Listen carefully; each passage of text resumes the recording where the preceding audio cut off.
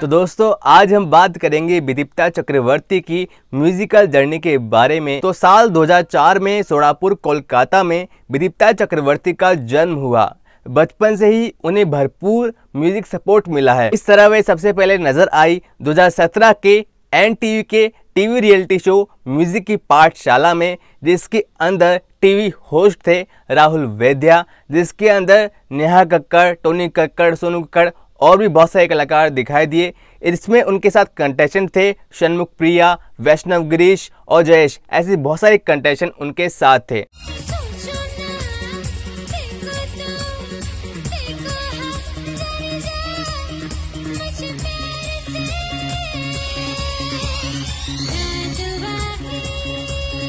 इस शो में विदिप्ता को बहुत रिकॉग्नाइज किया गया, लेकिन इसके बाद भी उन्हें वह पहचान नहीं मिल पा रही थी। उसके बाद वह उसी साल साल 2017 के अंदर ही जी टीवी के सारे गामापा लिटिल चैम्प्स के अंदर ऑडिशन देते हुए नज़र आए जिसके अंदर उन्हें काफ़ी रिकॉग्नाइज किया गया।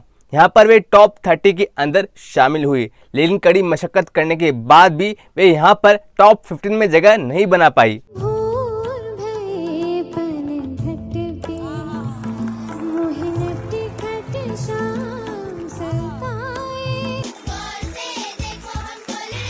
लेकिन सारे गामा पा 2017 इतना बड़ा हिट हुआ कि जब उसके टॉप सेवन बचे रह गए थे तो फिर से एक ऑडिशन हुआ और टॉप फाइव चैलेंजर्स को चुना गया।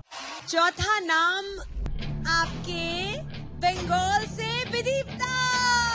ऑडिशन के अंदर विदीप्ता ने कोई भी कसर नहीं छोड़ी और आखिरकार बाजी मार ली और इस तरह से इन्हें इस कंपटीशन में फिर से एंट्री मिल गई।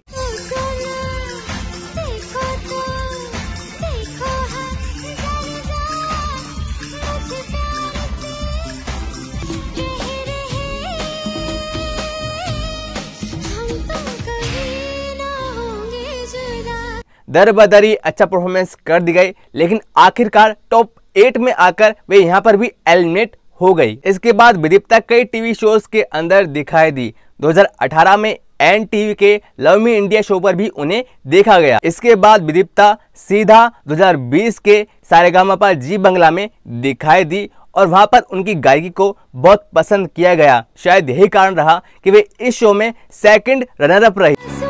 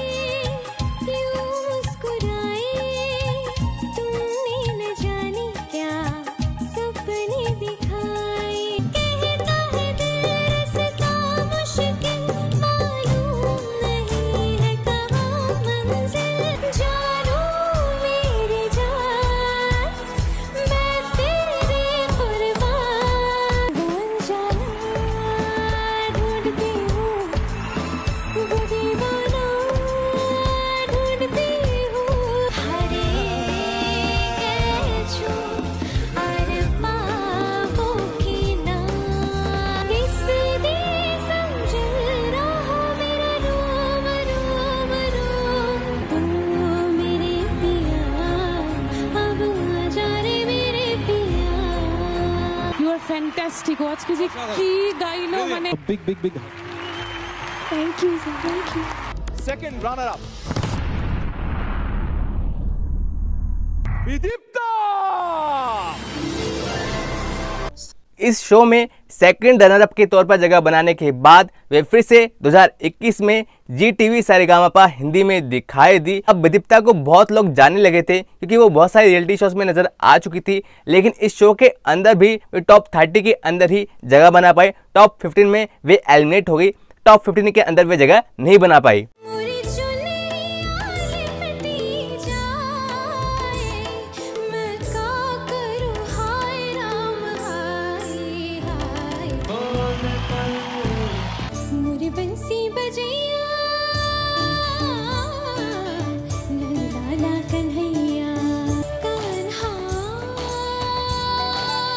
दो हज़ार इक्कीस में इस शो के अलावा वे दीदी नंबर वन और दादागिरी सीज़न नाइन के अंदर भी अपनी खूबसूरत परफॉर्मेंस देते हुए दिखाई दी। इसके बाद फाइनली विदीप्ता ने 2022 में इंडियन आइडल सीज़न 13 का ऑप्शन दिया और इस बार न केवल विदिप्ता की सिंगिंग को, बल्कि उनकी खूबसूरती को भी काफ़ी पसंद किया गया और वे टॉप 15 में इस बार शामिल हो गई।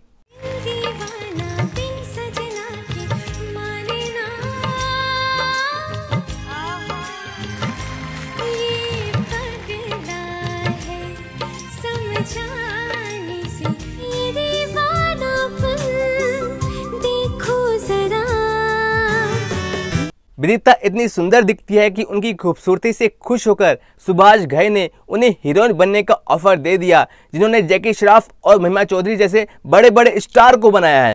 और मेरे अंदर से कुछ ऐसी आवाज़ें आती हैं।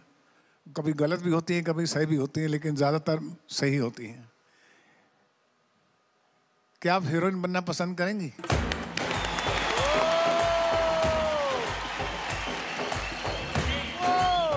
और ऐसा किसी रियलिटी शोज़ की हिस्ट्री में पहली बार हो रहा है, क्योंकि म्यूज़िक एल्बम्स तो बहुत लोगों को मिलते रहते हैं, लेकिन ऐसा पहली बार हुआ है कि किसी सिंगर को उसकी खूबसूरती के आधार पर एक हीरोइन बनने का ऑफ़र मिला हो। फ़िलहाल विदिप्ता की गायकी और उनकी खूबसूरती लोगों को बहुत पसंद आ रही है, उनकी जर्नी लोगों को बहुत पसंद आ रही है और हो सकता है वे इंडियन आइडल का खिताब भी जी जाए। आगे उनकी जर्नी बहुत लंबी होने वाली है। तो विदिप्ता की जर्नी के बारे में आप लोगों की क्या राय है? कमेंट बॉक्स में कमेंट करके ज़रूर बताइएगा।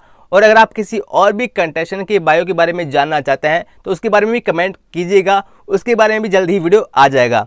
तो दोस्तों, फ़िलहाल आज वीडियो में इतना ही। मिलते हैं अगली वीडियो में। तब तक के लिए धन्यवाद खंबागणी जय हिंद।